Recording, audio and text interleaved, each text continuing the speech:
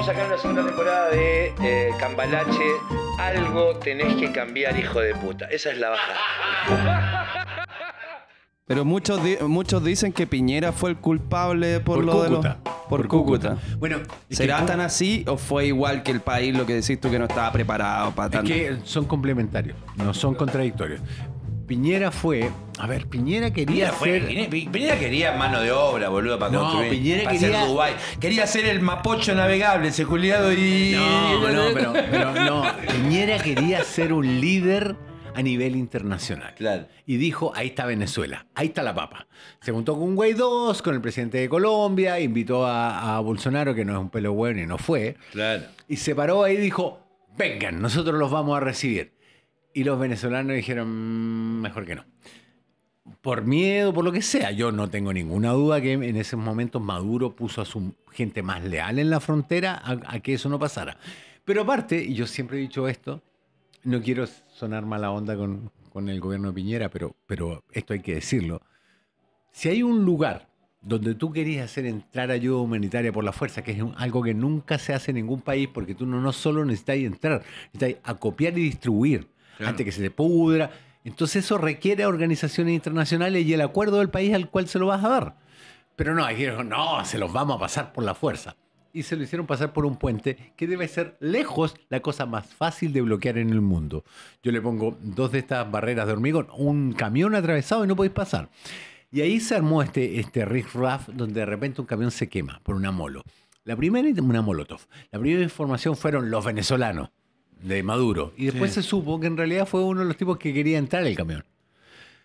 En ese momento, el plan se cae de a pedazos. No hay eh, esta renuncia, esta deserción masiva, no existe.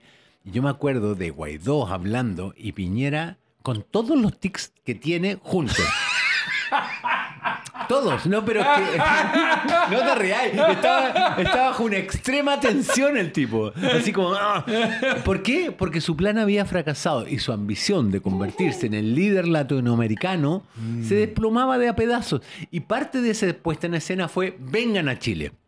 Ahí estamos ansiosos de recibirlo. El presidente ha dicho, el expresidente ha dicho más de una oportunidad. Yo no invité a nadie que entrara por, por la irregularmente.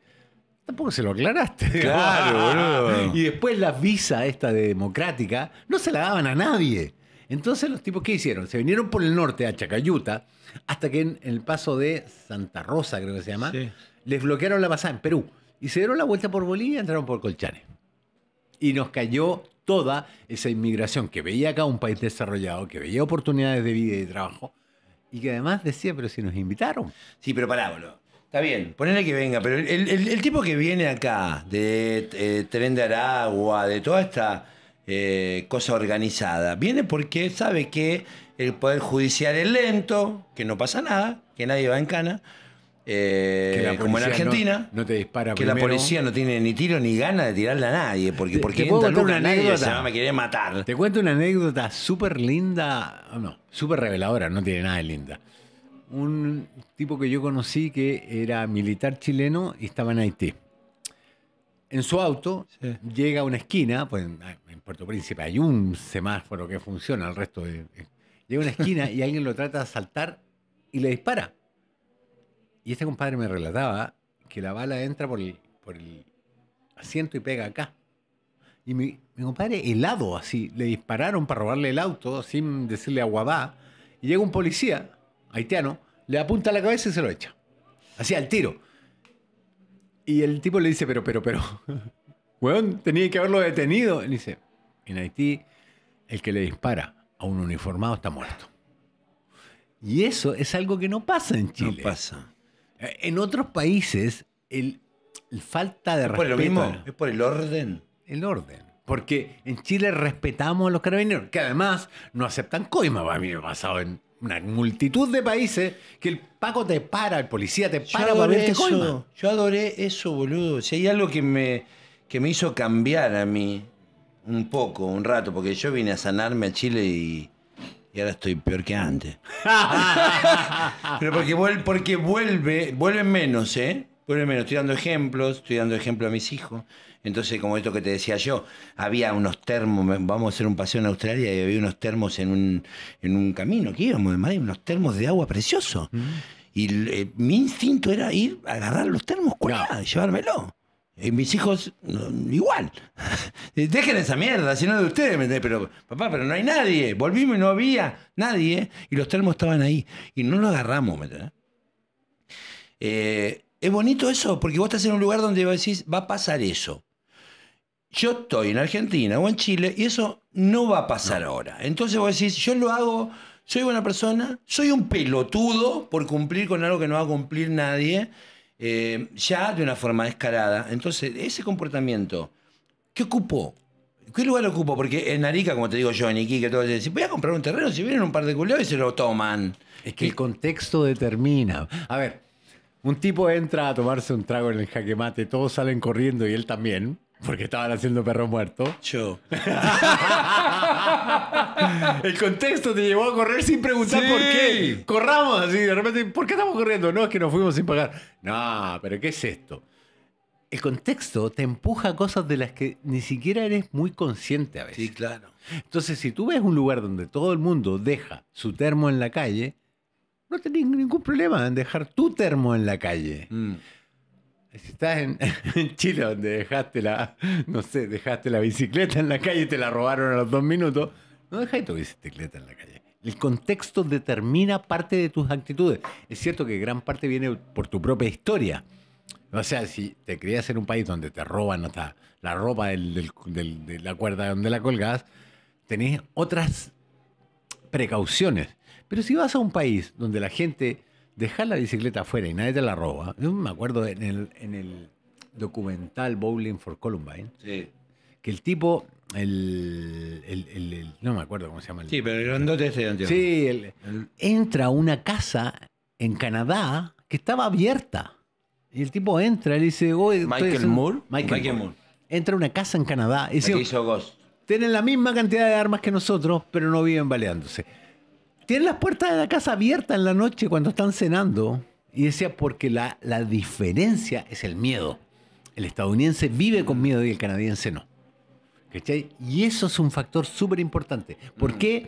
Porque lo- el miedo es una de las formas más fáciles de controlar a la gente. Claro. Totalmente. Porque vos ves, si ves un noticiero, ves eso, ¿no? Con el Claro. miedo, no me está pasando a mí, es como un mal peor, un mal menor. Eh, Compre su puerta de seguridad y su salón y su habitación de pánico. A ver, decir una cosa, te como. Hay gente dormida. Pues la gente te está diciendo, quiero seguridad, quiero seguridad. ¿Por qué no se despierta un pelotudo que esté manejando la historia y decir, loco? No sé, pongamos más policía, pongamos seguridad, pongámosle un, un panóptico a los culiados que entran a robar Ah. ese tipo de seguridad. ¿No decís? Y si vas a. Y, si no quieren ni. Lo mandan los aviones y te lo mandan de nuevo. Obvio, ¿quién va a querer? Eh, ¿Dónde reciclás ese tipo de gente? ¿Dónde reciclás ese tipo de comportamiento? ¿Dónde reciclás a gente que viene a hacerle daño, a cagarle la vida a otros seres humanos que viven, que quieren vivir con orden y con libertad? Porque ya el chileno ya no quiere la no libertad. O sea, el comportamiento. Mi hijo de 11 años me dijo, papá, yo no- orden". a mí no me gusta el orden que tenía Australia y Nueva Zelanda. Me gusta el desorden. No sabe qué es desorden. Claro, no sabe porque, qué es desorden. Porque hablamos de basura y toda esa historia, ¿me entendés? Era como, yo creo que él vive en ese desorden. Él vive en un desorden. El orden para él era como, levantárame la toalla, no remen los calzoncillos. Entonces, ese- esa historia de, tengo que trabajar más para ese tipo de cosas. Eh, yo creo que tiene que ver con eso. ¿Qué nos cuesta? ¿Quién es el que se tiene que levantar, boludo? Decir, eh, Pero habrá. re- ¿Qué, qué opináis, Rafa? ¿Habrá reaccionado tarde Boric convocando al, al Cosena? Yo creo que fue tarde. Creo que valía la pena hacerlo antes. Creo que hacerlo después es, eh, es eh, acusar el golpe. Es decir, no lo hice antes, pero ahora tengo que hacerlo. Pero creo que no solo Boric. La institucionalidad chilena no está Sí, preparada para esto. Entonces, todas las reacciones han sido lentas y el, y el, el- el crimen organizado, el de verdad, Lo no- sabe, boludo. reacciona mucho más rápido que tú. Va siempre dos pasos adelante tuyo. En Chile no tenemos una ley que le, no teníamos una ley que le incautara los bienes a las organizaciones criminales. En Estados Unidos le incautáis todo y sirve para financiar la guerra contra el narco o contra Obvio, la mirá. En Chile no. Eh, no teníamos una organización especializada en seguir la ruta del dinero. Detenían al del portonazo y no sabían a dónde iba a ¿De dónde parar el auto. guita? Claro. Entonces, todo eso se está creando sobre la marcha, bajo una ¿cuánto enorme presión. tiempo, culiado? En, en China te hacen un hospital en tres días. Acá hacen un teatro que van a tirar ahora en Rengo, un teatro municipal que esto hace 10 años que está roto. Pero- y van a tardar 10 años más en hacerlo. ¿Qué, qué- Pero a ver, ¿cuánto tiempo estuvieron discutiendo nuestros parlamentarios sobre la- la legítima defensa privilegiada? ¿Dos meses? Sobre una cosa que era súper fácil de resolver, digamos. Acá se usa y acá no se usa. ¿Pero por qué estuvieron? Porque les gustan las cámaras. Obvio. Entonces, el punto es que también duele mucho aceptarlo, pero tenemos un votante súper inmaduro en Chile. La mitad de los tipos que están ahí no deberían estar. No deberían estar porque no cumplen los estándares morales, no cumplen los estándares intelectuales o no cumplen los estándares psicológicos para que una persona de- de- haga leyes. Si un, un weón histérico que le gusta salir en las cámaras es un weón que tenéis que mirar con cuidado. Sí, pero aparte claramente, porque no puedes admitir que eh, un monstruo de Pikachu y el dragoncito y el concha su madre de Bade puedan tener la, la posibilidad de mentirle a 20 millones de personas. Pero bueno, si hay un guionista, vos escribís, escribís un guion, estás años tratando de escribir que la gente te crea, y viene una persona con el tema de la, de la culpa y con el tema de- de la solidaridad, se pierde todo tipo de posibilidades de ver el bosque y el árbol culiado que te tapa el bosque o el árbol o el bosque no eso, sé qué. Eso tiene un nombre. ¿Cuál? En, ¿Qué es? en- en- ¿Pelotudez? en el mundo anglosajón. Se ¿Qué llama wishful thinking. Dice, cuando tú crees, piensas lo que quieres creer. Mm. Cuando tú analizas la vida desde el punto de vista supuestamente racional, pero de lo que quieres creer. Entonces, votáis por gente que queréis creer que lo va a hacer bien, pero que en realidad no lo, no lo hace bien. Y no importa, porque tú siempre estás pensando que lo va a hacer bien. Y vender esa pomada es un tremendo negocio. Obvio, bueno. Detectar qué es lo que la gente quiere y que está dispuesta a votarte si le vendes esa idea. No si le vendes evidencia, si le vendes la idea. Los sin moneda. la abuelita de los sin moneda. Mm. El sheriff de Gaspar Rivas. Son intentos fracasados, yo lo entiendo. Pero ahí detrás está ese pensamiento perverso. Yo te represento a ti, yo voy a hacer lo que tú quieres, yo te voy a resolver tus problemas. No, no es cierto, estás ahí para otra cosa. Pero la gente se lo cree. Sí, po. Pero, Por ¿por qué digo se- pero porque la gente no quiere trabajar entonces en un cambio. Que vienen y dicen, tú quédate ahí y te vamos a dar. Pasó lo mismo en Argentina.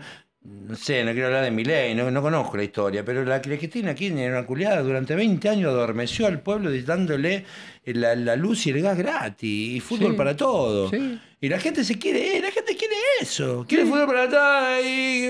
Pero, pero eso parte de la base de que- de que el público no está bien educado nomás. Y hay público que no quiere educarse también. No quieren, Hay gente que no quiere educarse y hay otro que está mal educado. Cuando tú, a ver, me tocó hacer una vez el- el- el- un reportaje muy lindo, un documental sobre la guerra del Pacífico, Mm. sobre la Esmeralda, bajé, la bucé, todo, todo lindísimo.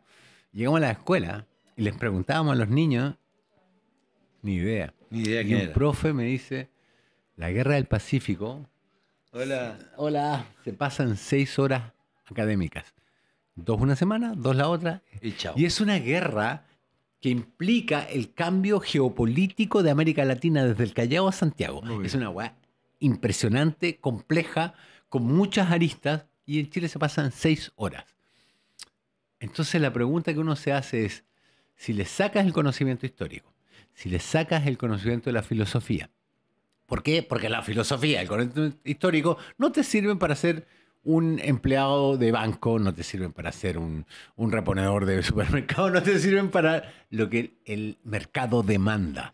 Si te sacan las clases de educación eh, cívica, Educación cívica. Educación cívica, donde yo en plena Sí, boludo. dictadura en Uruguay, en plena dictadura, me enseñaban cuál era la función del legislador, del eh, el ejecutivo, de las autoridades municipales. Llegué a Chile y eso no existía, nunca lo vi, ¿cachai? Entonces, cuando tú entregas una mala educación, y no me refiero solo, yo fui profe, me llegaban cabros a primer año de universidad que no sabían escribir bien. No es que tuvieran falta de ortografía, eran incapaces ¿Primer de año poner de qué? de universidad, de periodismo. De periodismo, una carrera de letras, que no sabían explicar sus ideas en un continuo escrito. Y que si yo les pedía que leyeran algo, una vez una, una alumna dijo, pero es que los libros que usted pasa son muy complicados. pero weón, está en la universidad. po". Pará, boludo. En los currículum ahora, en ciertos trabajos, te piden el, el colegio primario donde vos estudiaste. Colegio primario. Y ayer hablamos. Ah, pero en, en Chile es el único lugar que te preguntan dónde estudiaste. Sí, boludo. Bueno, eh, ayer hablamos de que te decían, ay, hablabas de una manera u otra y te decían, ay, otro colegio.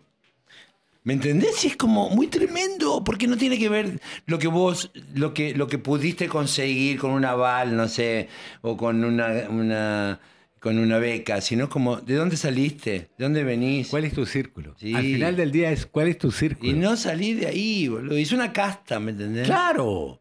Hubo un análisis alguna vez de qué porcentaje de los gerentes de este país salían de siete colegios. Y era el 80 y algo por ciento. Era notable. Nido de águila, Eh, estaban cura. Claro, por ahí. Toda esa. De Vitacondechea. Del Principado sí, boludo. de Vitacondechea. Bueno, porque tiene que ver un poco con lo que yo te planteaba de pertenecer a un espacio y de alguna manera que es un poco lo que, lo que todos buscamos. Estar y no tener es comprar cosas y que no te las roben. O sea, sí, yo creo que ese es como el comportamiento de este momento. Es sí. tener cosas que te permiten tener un, Un estándar. Un, un estándar, no sé, como tener más seguidores, papá, tenés como un lugar determinado y que no te saquen lo que tenés, que es lo Claro. que uno pelea todo el rato. o sea, claro. entre el amor, la plata y el laburo. Una vez mi hermana estaba en un negocio, en, un- en una empresa que vendía vacaciones de, de tiempo compartido, una cosa así. Y tu hermana. En Uruguay, ella se quedó viviendo en Uruguay siempre. Y un día me dijo, no, renuncié, Rafa. No. pues, Le dije, "¿Y ¿por qué renunciaste? Igual no era mala plata, me dijo. Me dijo, yo no puedo venderle a la gente cosas que no necesita para que la paguen con plata que no tiene. ¡Pumba! Sí, boludo. Yo me acuerdo si uno compraba, vas a ir a Costa Rica, vas a ir a un hotel gratis. ¿Cuándo ir a Costa Rica? es eso, ¿no? Como de alguna manera, eh, la historia es como. Claro. Es lo, es lo que todos estamos saliendo un poco eh, de ese presente. Yo creo que yo soy un poco así, estoy tratando de cambiarlo con mis hijos. Esta historia de que, digo, la semana que viene vamos a, a ir, porque- y después empecé, ¿por qué tengo que decirle a estos hueones ¿Qué vamos a hacer la semana que viene? Si ellos no tienen una medida de la semana que viene, están viviendo el momento más que nunca. bueno. Yo sé que no puedo dormir, que estoy pensando en mañana. Pero no te pasa que, que te comparás con el tipo que era a los 18 años. Y decís, ¿por qué voy a tener el pantalón que estoy roto? Está roto en las rodillas y en aquella época le ponía un parche y seguía feliz.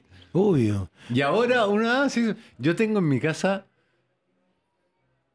más o menos la misma cantidad de pantalones rotos que de pantalones sanos, porque me niego a hacerlo, porque además, eh, bueno, que esto puede sonar excusa, ¿eh? pero además, el, el comprarse ropa constantemente es un tremendo atentado contra el sis- ecosistema. Sí, boludo. Porque se gasta mucha agua en la creación de El textiles. otro día lo hablamos, el otro día lo hablamos, eh, no sé, como entré a comprar una cosa a- en, un- en Australia y, eh, y, el- y- y no sé, este tipo que me, me nos contaba esto, que el Shin gasta una cantidad de agua tremenda. ¿No te pasó nunca de la gente que te dice, no, porque en el Black Friday, el Super Monday, lo que sea, me compré tal cosa con tanta rebaja, así que me ahorré tantas lucas? Y tú llevas el argumento al extremo, es decir, pero weón, te compraste una cortadora de pasto y vives en un departamento, weón. ¿Por qué necesitas esa weá? es, es muy loco. Recién me pasó algo que el, el, el Éter me contó. Que tiene un gato, ¿viste? El Éter. Entonces le cortó las uñas. Ya. Dice, le corté las uñas a mi gato. Recién, ¿no? Y eh, digo, un gato no, no. Imagínate un gato que. Con un gato colgado imagino- del brazo. No, yo me imagino un gato, hola, me cortaba la uña, un perro, hola, me, me puede cortar los bigotes que lo tengo largo. Es como humanizamos a los animales, ¿me entendés? Hay algo de eso, pero hay Un algo gato, de- aga- un gato agarra un árbol, boludo, y, hace- y Claro. se corta las uñas. Claro, Pero si, tiene una forma de cortarse, no tiene que tener. si al perro lo llevas a dar una vuelta, Se corta la uña. claro, las uñas se las rebaja, por decirlo de alguna manera. Pero si vive en un departamento con Sí, alfombra... por eso, porque me hacía mierda de- todo. Ah, No te hacía mierda. Necesita. o sea, Necesita, es como, claro. vos le Sí, estás haciendo sé, mierda sí. el entorno a este weón. Sí. La buena manera, pero, pero está bien. si no, no estoy, hablando, estoy hablando de eso, no sé por qué. Eh, No, en el pero sí fondo, porque. No, en el fondo. Quiero hablar de, de- de- de- de los temas que estábamos hablando, que son temas que nos. La inseguridad. No sé si hay inseguridad, El le preocupa la gente, ¿me entendés? ¿Qué, qué? ¿Estás en vivo, boludo? ¿En serio? te están saludando ahí, mirá. Hola, ¿cómo están? Hola, ¿Están ¿cómo- saliendo en vivo? ¿Tienen algún baile para hacer? Hagan un baile. Dale, a ver, hagan un baile. Dale. Nos están arruinando todo el programa. Eso, baile. Vale. A ver, vamos, chicos. Me gusta que esta generación... está. Me gusta que esta generación sea menos vergonzosa que en lo que éramos Sí, nosotros. boludo. Me gusta mucho. Éramos más, pero, pero porque Ah, también eran más permisivos. Antes te decían, anda a dormir, pelotudo, van a hablar los mayores. Te trataban como el orto. Los niños comían en una mesa aparte. Sí, comían en la mesa. Y cuando los mayores hablaban, los hijos no. No. No, no, no, no, no. No sé si hablar de la palabra maltrato. No, eran, eran condicionantes de relaciones sociales mucho más estrictas que las de ahora. Mm, A ti te condicionaba para decir, los niños no hablan cuando los mayores hablan, Mm. no interrumpen los mayores. Si un mayor le dice a un niño, estoy ocupado, el niño no puede, yo le digo a mi hija, estoy ocupado, y me dice, pero déjate de joder. papá, papá, papá. No, mejor no decir esa weá porque uno queda como un pelotudo. ¡Claro! Porque como, tengo que al final termina haciendo lo que ella quiere. no, pero además mi hijo de un año, dos meses, viene y se me cuelga una pata, así. A- Apenas empezó a caminar y viene y se agarra mi pie.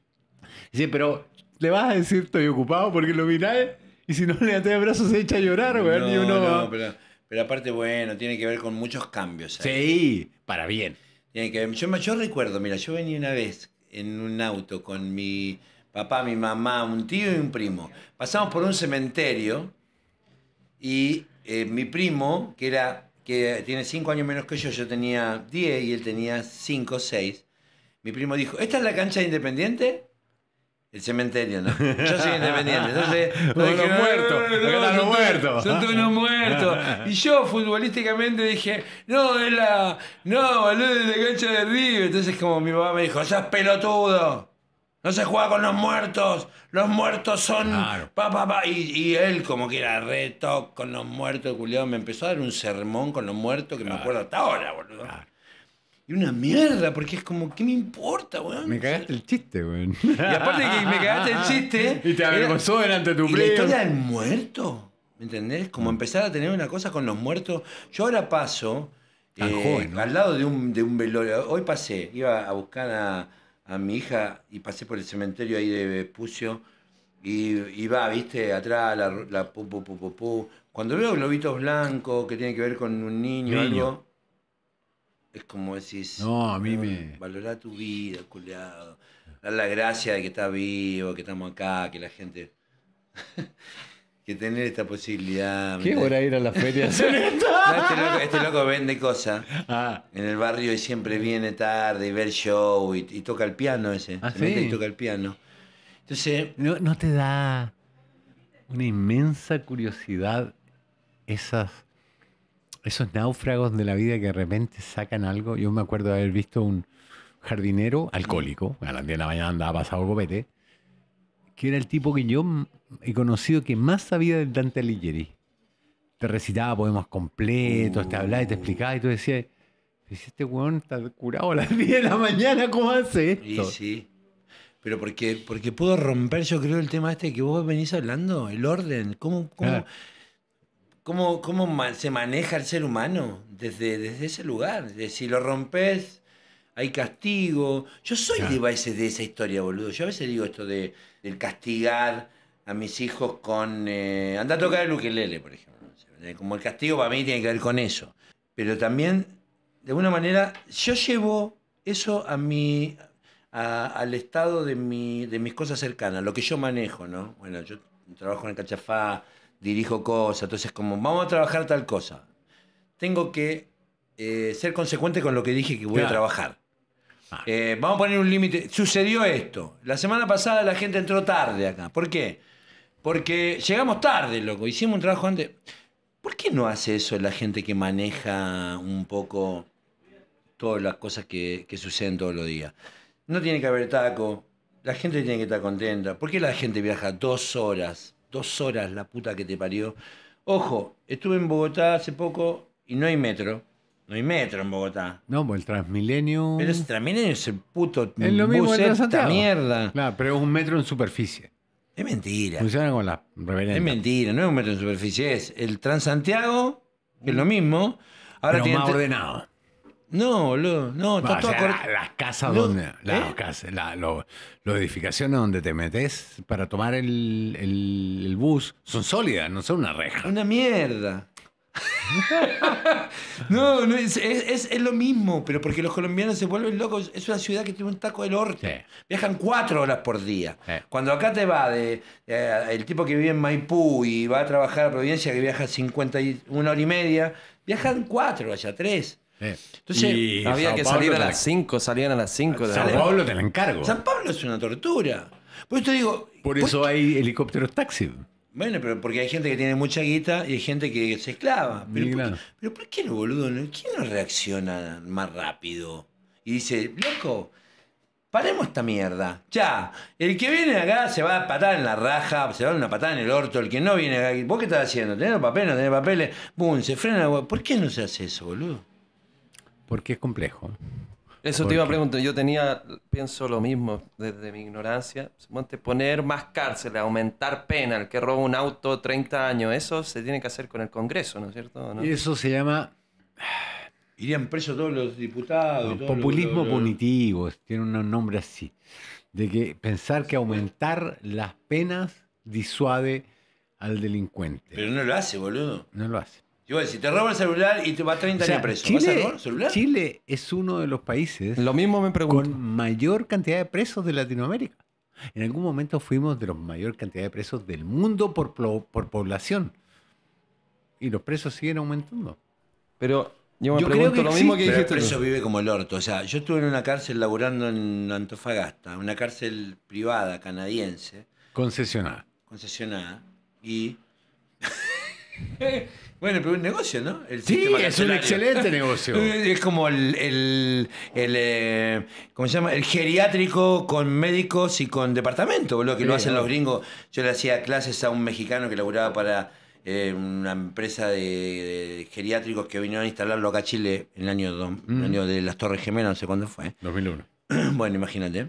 Esos locos empezaron con ese negocio, que es el de los viejos, donde los hijos lo dejan en un lugar que vale dos mil dólares y tienen médico, casa, pu, pu, pu, pu. Tremendo negocio. Ajedrez, ludo, Todo, boludo. película. Todo. Y los viejos. Y está bien. Conversan entre ellos. Está pero, pero tiene que ver un poco con esto que vos decís, con el, con el negocio de la cárcel. Es decir, vos metés a un tipo en una cárcel donde viven siete personas, el loco se prostituye más, todo lo que hace.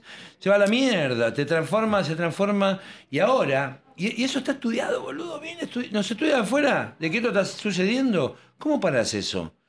¿Por qué, ¿Por qué no se hace? ¿Por qué no se acelera la justicia? ¿Por qué no? ¿Por qué no, no hay ciertas personas, por qué hay esa desigualdad de personas que van a una, como la Katy Barriga, a una piscina y estás todo el día en tu casa rascándote la raja y otro que van en cana? Esas cosas tienen que parar, boludo. No, no puede pasar eso. Es como... Poder. ¿Eh? Todo tiene que ver con poder. Claro, pero, pero es como. eh, qué descaradamente se le miente a la gente que. O se le dice, mire, esto es poder, ustedes son una casta sub- eh, inferior a nosotros, que es lo, de la manera que se vive, de alguna manera. Nos va a importar tres caras. Pero, pero hablarle de frente, ¿me entendés? Ah, Pero una amiga mía, Rosemary Ramos, periodista, entre otras cosas, un día me dijo, todo análisis que tú hagas en la vida, Rafa, está cruzado por una relación de poder. Y si no incluyes la relación de poder, tu análisis no es completo. Mira, anécdota. Un amigo mío fue a Japón. Eh, entre otras cosas, los japoneses aprenden con ideogramas. ¿Tú caché que es, una, es un símbolo que dice árbol o uno que dice bosque y no tiene nada que ver el uno con el otro? Mm. Entonces, los japoneses tienen como tres alfabetos: el de los ideogramas, el de las letras japonesas y el de las letras eh, inglés, o sea, occidentales. ¿Y cuál es el objetivo de eso? ¿Tiene algún objetivo? No es ningún objetivo, es Ya. cómo se ha desarrollado el asunto. Ok. Y por eso un japonés aprende finalmente a escribir y leer como a los 10 años. No a los 5 como lo hacemos acá, porque es el idioma bastante más simple. Y me decía, un maravilloso dato que yo nunca tenía, que el papá trata al hijo, primer hijo, con un, a ver, señor Jorge. Al segundo hijo como señorito.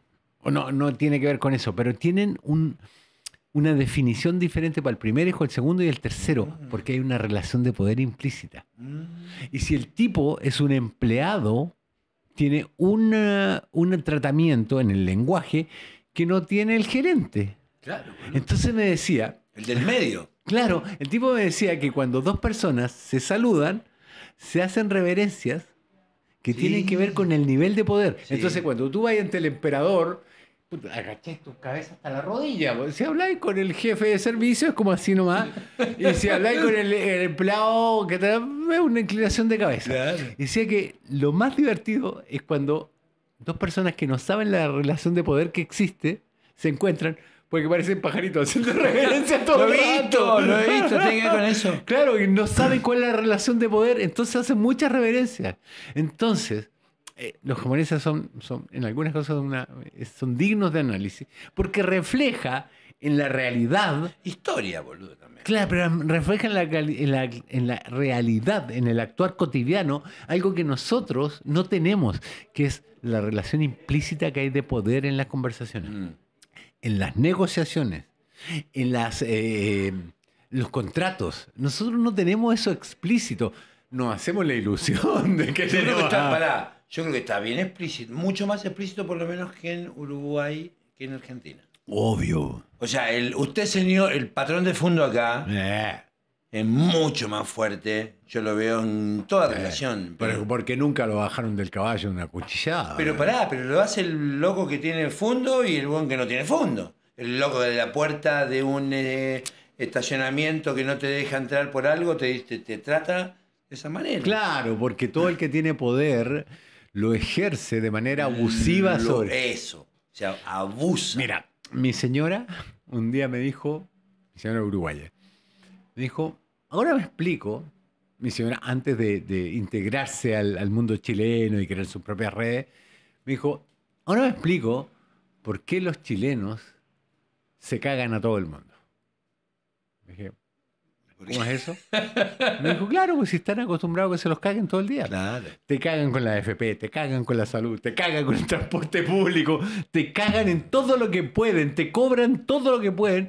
Evidentemente tiene que ser un tipo que está acostumbrado a cagarse a otro, pues si se lo cagan él todo Bueno, el día. Eso es lo que te digo que yo me encuentro en este momento en Chile, en algo que no pensaba antes, que no pensaba. O sea, yo venía y decía, el estacionamiento hay que pagarlo, pum. Che, la cola hay que hacerla. tú. Al banco hay que llegar ante la hora tal. ¿No pensás en eso? No es un, no es un tema. No. Ahora sí es un tema. ¿Pago o no pago? ¿Hago o no hago? ¿Le ¿Por qué pongo tengo una que pagar? cinta winchiladora a la, a la patente para que no me agarre el tag de la autopista? Ah. ¿Me entendés? Como. Y, y- y hay sistemas para cagarte aparte, porque vos vas al tag de la autopista, ¿no? Por ejemplo, estuve afuera ahora, vos podés pagar antes. Eh, pa- Entrar a la autopista. Acá no, acá te dicen pagar dentro de 15 días puedes pagar. A los 15 días te olvidaste, hijo de puta, de pagar. Y cuando vas a pagar ya tiene un interés, ¿me entendés? Entonces, como que la onda es cagarte el, el sistema. Cuando vos no pagás, cuando vos pagás tarde, cuando vos pagás con interés, sos un excelente cliente. Claro, a mí me pasó de... Pero tenía- para que no se me vaya, a propósito de eso, eh, hoy día vi en Twitter una foto del Compin que está así como... es- la entrada es desapercibida, no se, no se sabe de qué es el Compin. O sea, ponía... que es donde tú vas a reclamar por la Sí, sí, sí, asistencia sí, sí, médica. Claro, o sea, lo tenían como escondido. Claro. ¿Dónde, no. ¿Dónde quedas tú? No, ¿Por pa- qué? porque la gente ahí va para que le paguen su... Si presentáis una licencia, le paguen el sueldo. Claro. Entonces, que es como para que se pierda la gente y no, no quieran Claro. pagar. Bueno, hay, eh, Va, Una vez, una, una vez me, me- mi tag lo retiramos sin darnos cuenta, porque teníamos el, el auto para una empresa con un amigo mío, y él pagaba el tag, y un día lo retiró, porque ya habíamos terminado de trabajar y no me di cuenta. Me llegaron cinco multas diferentes de todas las municipalidades por las que pasé. Y yo salí un maldito fin de semana, agarré la Costa Norte después agarré Espucio, pero pasé por cinco comunas. Cada comuna me cobró una multa. Las dos autopistas me cobraron multa. Pagué una fortuna en multa y hubo que hacer un cambio legal para que no te violaran en patota. A mí me pasó una cosa con eso. Mira, yo tenía que le, eh, le compré el tag al auto, no llegaba, no llegaba, llegó acá, no había nadie. Entonces me tengo que meter en la autopista. Entonces salgo y le meto una mm, mascarilla a la patente. ¿En serio? Notable. Le meto una mascarilla a la patente de la puerta de mi casa, ¿no? Y pasa un vecino. ¿Qué estás haciendo? Me dice. Digo, estoy poniendo la mascarilla porque me tengo que ir en el, en el, en el Vespucio y no me llegó el tag, loco, le digo. Entonces, como, eh, le voy a poner esto porque cambié el auto. No hagas eso, me dijo. Instrumento público, falsificación de instrumento público, cinco, cinco años y un día. Pa, pa, pa, pa, pa, pa. Yo me imaginaba mientras me decía, me van a romper el orto en la cárcel. Decía que tiene Julián, alguien tiene Julián, no sé, va. Eh, y bueno, lo saqué, lo saqué. Logró él con su orden y su Claro. norma eh, entrar, que está bien, ¿me entendés? Pero también tengo eso encima. También tengo eso encima que tengo la posibilidad de ponerle esa cinta aisladora o de mirar en un culo en la calle eh, superando la culpa. En estos años no se puede. Superando la culpa te hablo, ¿entendés? Una cosa Hola. que. Hola. Mira. Estamos en vivo por los dos lados.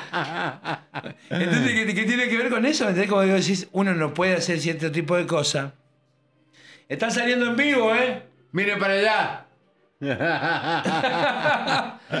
Bueno, es, es este tipo de cosas que uno no puede borrar de su, de su, de su historia, que es muy tarde. No, para nada. Pusiste la cara como me van a matar en mi casa. No, no, no, es que me llegó un mensaje. ¿De? Y yo, no sé, se prendió la luz y siempre miro así no son mensajes de pega. ¿Qué te diría vos? ¿Qué dirías a Boric vos si de repente... eh, el otro día lo vi a Boric en una situación... A ver, quiero escuchar esa No, pregunta. no, no. Eh, Lo vi entrando a la moneda, así como haciendo un live, como nosotros. Saludamos a toda la gente que está conectada, muchas gracias por estar ahí, me hubiese gustado conectar. Ahora viene el, el programa de verdad. Ahora vamos a empezar a grabar el programa de... Tirate alguna pregunta. si Esta era la pauta, ¿no? que veía a Boris como entrando y diciendo, ay, estoy acá, acá está la Camila haciendo una nota, y como eh, viviendo en otra situación. Yo, yo, yo he estado con situaciones de que el, el espacio Cachafaz quebrado, con, no sé, con 40 empleados, con gente que venía, con un comportamiento que no se cuidaba la comida, que pum, cuidemos la luz, apaguemos la luz, weón, limpiemos la weá, saquemos la cosa a la calle, pa, pa. ¿Quién está dormido, boludona? ¿Qué le dirías a Boric? ¿Yo qué le diría? Hermano, levantate en la mañana, salí a la calle, eh, dejá la bicicleta, culiado, y que te andá vos en un auto, ve que está mal, habla con un alcalde. Yo decía hoy, un alcalde puede decir, ¡Oye! ¡Buena! ¡Aguante! ¡Eh! ¡Aguante, Rabanui! Bueno, Levantate más temprano, dejate de wear en la bicicleta. ¿Qué más? Eso, cómo decirle, cómo salir del sistema, que no se puede decir algo y todo. Yo, yo sé que hay, pero vos estás contenido. Yo puedo llegar a decir algo como, las cosas son de una manera diferente. No se puede cambiar todo. No se puede cambiar todo para un momento para otro. Hay, una, hay un, hay un poder muy grande. eh, estoy tratando de hacerlo. ¿Cuál es la posibilidad? Yo hago esto, no sé, como, eh, salgo a la calle, eh, veo lo que no está bien. Sacaría a todos los culiados que están robando de una manera, eh, patada en la raja.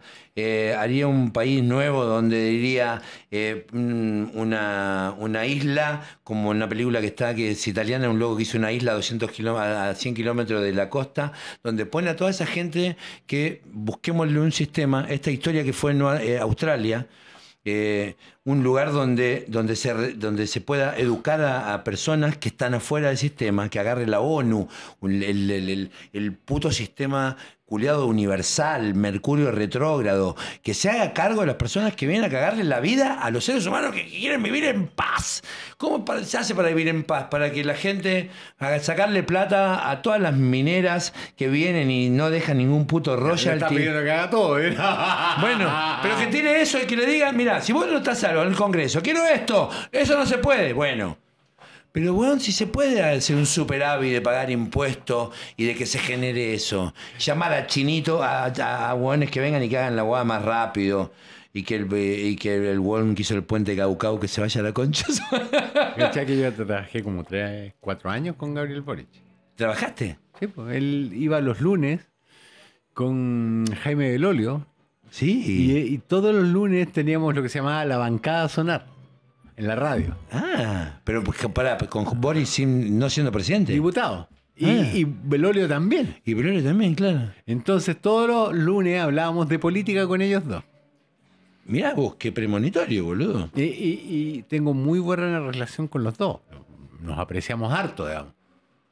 Yo lo primero que le diría es, ¿cómo se te ocurrió meterte en esta weá? ¿En qué estabas pensando? El poder es una droga dura, te deja hecho Muy pelota. claro, boludo. Y segundo, yo creo que lo que tenés que decirle es, deja los temores atrás.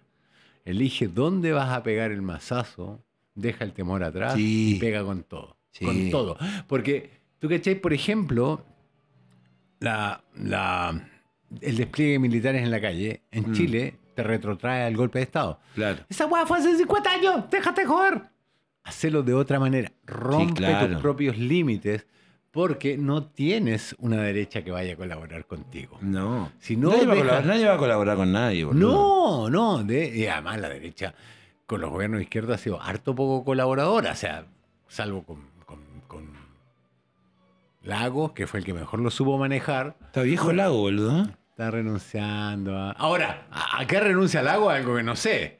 Porque, ¿A qué renuncia? No, que no me pregunte más nada, que no sé ni cómo me llamo. No, que no voy a estar haciendo discursos públicos. Pero ¿querés saber de política? Vení a casa. O sea, Vení a casa y está bien, pero para mí es el rey de la, de la, de la, ¿cómo se llama? De, de- de- digo algo y no lo digo.